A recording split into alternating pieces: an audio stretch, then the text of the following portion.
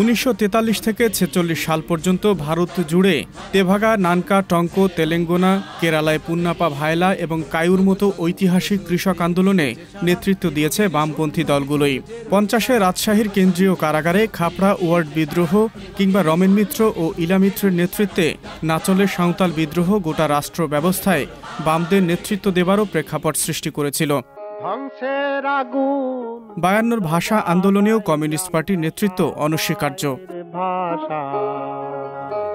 এর ধারাবাহিকতায় উনিশশো একাত্তরে গণজাগরণ ও অসহযোগ আন্দোলন পরে মুক্তিযুদ্ধ। প্রতিটি প্রগতিশীল আন্দোলনের অগ্রভাগে নেতৃত্ব দিয়েছে বামরা। তবে মূলধারা রাজনীতি থেকে বিচ্যুত হওয়ায় রাষ্ট্র ক্ষমতায় আসতে পারেনি তারা।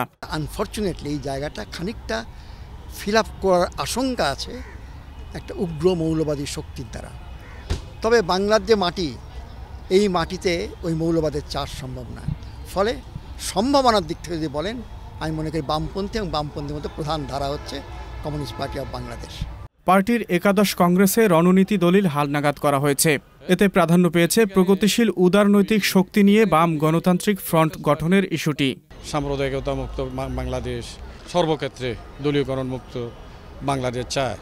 আমরাও সেটা চাই। তো এখানে ওদের সাথে সমাজতন্ত্রের প্রশ্নে হয়তো আমার সাথে ডিসএগ্রিমেন্ট আছে। কিন্তু এই মিনিমাম পয়েন্টে আমাদের সাথে এগ্রিমেন্ট আছে। বামপন্থী দুই দল ওয়ার্কার্স পার্টি ও জাসদ, মহাজোট ছেড়ে বাম গণতান্ত্রিক ফ্রন্টে যুক্ত হতে চাইলে সুযোগ দেওয়ার বিষয়টি কমিউনিস্ট পার্টি বিবেচনায় রাখবে বলেও জানান তারা। আকবর হোসেন সুমন, একুশে টেলিভিশন, ঢাকা।